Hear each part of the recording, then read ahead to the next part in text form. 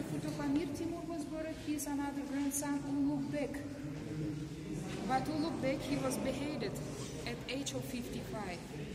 He built his uh, uh, madrasa in Samarkand and Gijduwan, uh, in Bukhara. Also, he built his observatory in Samarkand, which was destroyed.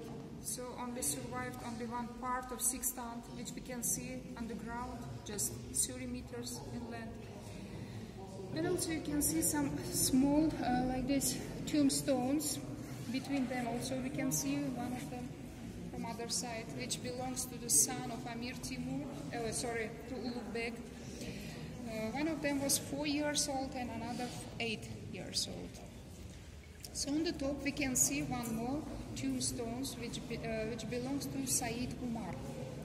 Said Umar, as historian says, uh, he was mudaris. Mudaris is Teacher, a teacher, teacher. Yeah, and he knew about the Islam religion, about Sharia law, Quran, everything. That's why, like this, people was like a holy. And as a symbol of holiness, we can see stick with oxtail. We call it tuk. In Bukhara also you can see like these things. Uh, if some holy person was buried, Uh huh. near Okay. the tombstone also always we can see like these tubes. Oxtail. The old is uh.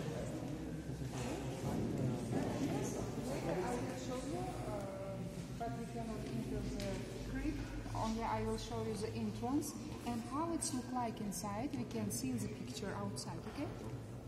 And you can see onyx stone on the walls also. It was brought from Iran because we have no onyx stone in Uzbekistan. The other part of the walls, it's after restoration. Can see words from Quran on the walls. This is very kind of, I can say here, uh, Source uh, also, they use it. And also that four corners and inside the cupola you can see this is uh, not after restoration, this is new design of Soviet Union masters because um, no anything survived after 15th century. And that chandelier was presented by our first president Islam Karimov when we celebrated uh, Amir Timur's uh, anniversary, his 660 years.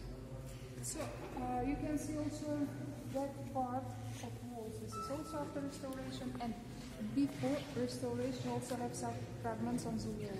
See, it was in very bad condition. From 2001, all mosques, maqbaras, uh, and architectural places. Uh, heritage. Yes, after heritage of UNESCO, it was uh, added to the list. Bless you.